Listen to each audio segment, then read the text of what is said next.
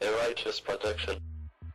All right, fam. Up next, we got the other half of the Street Profits, Angelo Dawkins, and uh, largely, largely by comparison, has the better moveset. And honestly, man, dogs don't got his moveset is all right. Like, you know what I'm saying? He's clean.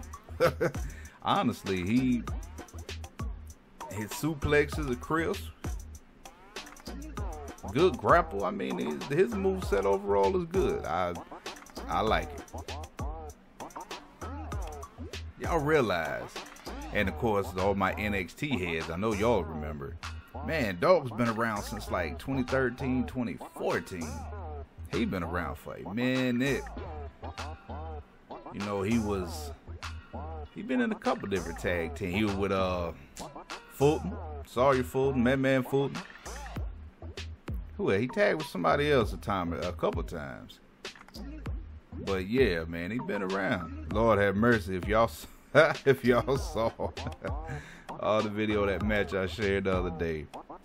When he came out there with the hat and the glasses and the flannel long sleeve shirt and the book bag, man, that dude had on buku gear for whatever reason. Thankfully, that didn't last too awful long. You know, but he, uh, grapple wise, wrestling wise, he's legit in his own right, he's entertaining. He got some swag, maybe not as much, you know, compared to Montez, but you know, everybody's their own person as far as that goes. I do not want to see him get genetic. Let him be his own person. Like I said in Montez's video, I'd much rather see an amicable split and you know, they still link up from time to time or maybe help each other out from time to time, but not not a super kick through the window and not, you know, be enemies and not, you know, every tag team when they split don't gotta be enemies. It's cool to be like, all right, fam, you know, we done everything there is to do. I think we need to see how we can do on our own stuff like that. Oh, word for real? Okay, yeah, that's you can write that. You know, everything don't gotta be vitriol and hate and I'm better than you type deal. So anyway, but I mean that dog is athletic. Now don't don't let it fool you just because he's the bigger of the two. Dude is athletic.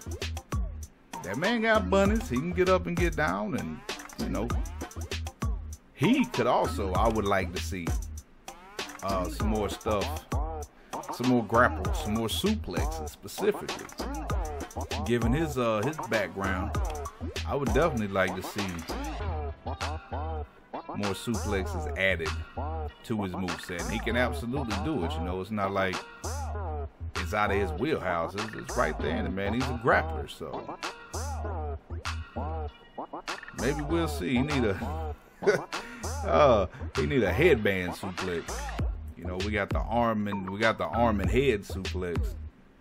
He can do his own version, call it the arm and headband suplex. Anyways, man, y'all know what it is. Keep it real, live righteous.